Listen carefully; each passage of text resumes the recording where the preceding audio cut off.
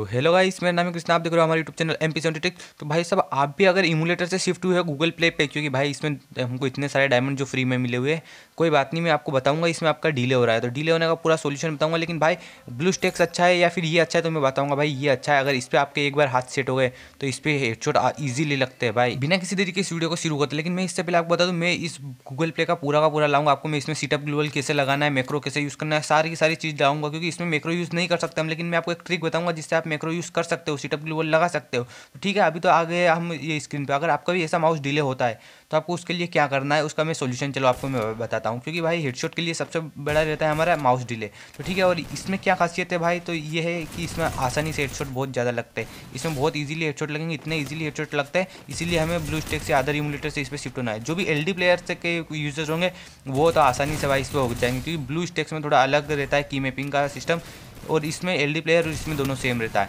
इसलिए ये अच्छा है काफ़ी, और भाई साहब, इसमें ये आप खेलो मैं तो बोल रहा हूँ, इसमें लेग भी नहीं होता है।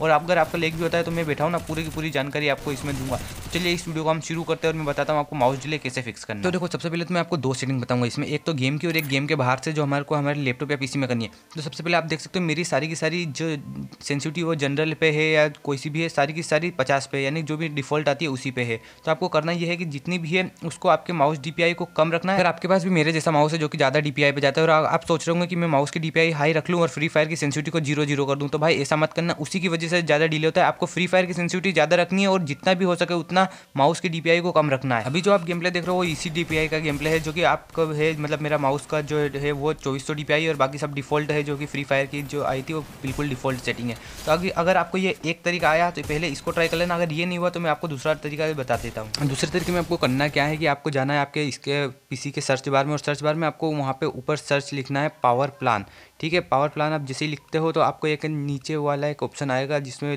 लिखा आएगा चूज़ पावर प्लान या एडिटर पावर प्लान ठीक है? तो आप जैसे ही उस पर क्लिक करोगे तो आपको एक नई टेप खुल जाएगी। अब यहाँ ऊपर की साइड एक ऑप्शन दिखने को मिलेगा पावर ऑप्शन तो आपको उस पावर ऑप्शन पर क्लिक कर देना है और वहाँ पर आप जैसे क्लिक करोगे तो एक यहाँ पे साइड में आपको एक और देखने को पड़ेगा क्रिएट अ पावर प्लान तो आप जैसे ही क्रिएट अ पावर प्लान पर क्लिक करोगे तो आपके सामने एक चीज़ आएगी तो इस पर आपको करना है नीचे हाई परफॉर्मेंस वाले पे क्लिक ठीक हाई परफॉर्मेंस पे करके आपको इस प्लान को कुछ भी नाम दे देना है, मैं दे देता हूँ गेमिंग गेमिंग प्लान ठीक है? गेमिंग प्लान करके आपको नेक्स्ट पे क्लिक कर देना। नेक्स्ट पे क्लिक करने के बाद आपको इसको कुछ भी छेड़छाड़ नहीं करना है और डायरेक्ट आपको क्रिएट वाले ऑप्शन पे कर देना है। क्रिएट वाले ऑप्शन करने के बाद आपको यहाँ पे देख सकते हो गेमिंग प्लान वाला एक ऑप्शन आ रहा है। इसके आगे एक चेंज प्लान सेटिंग वाला ऑप्शन आ रहा है। तो आपको उस चेंज प्लान वाले ऑप्शन पे क्लिक करना है। आप जैसे ही इस पर क्लिक करते हो, आपको यहाँ पे एक नीचे ऑप्शन दिखेगा चेंज एडवांस पावर सेटिंग तो आपको इस पर क्लिक करना है और इसमें आपको नीचे ढूंढ लेना है प्रोसेसर पावर मैनेजमेंट आप जैसे ही प्रोसेसर पावर मैनेजमेंट ढूंढोगे तो वहाँ पे आपको एक दिखेगा मिनिमम प्रोसेस रेट तो इस मिनिमम प्रोसेस रेट को अगर आपके पास लैपटॉप है तो ऑन बैटरी को भी आपको हंड्रेड कर देना और ऑन प्लग इन को भी आपको हंड्रेड कर देना है। कुछ इसी प्रकार नीचे भी आपको देखने को मिलेगा मैक्सिमम पावर रेट तो उसको भी आपको हंड्रेड ही कर देना है। दोनों को, तीनों को, चारों को हंड्रेड करना है। इससे क्या होगा,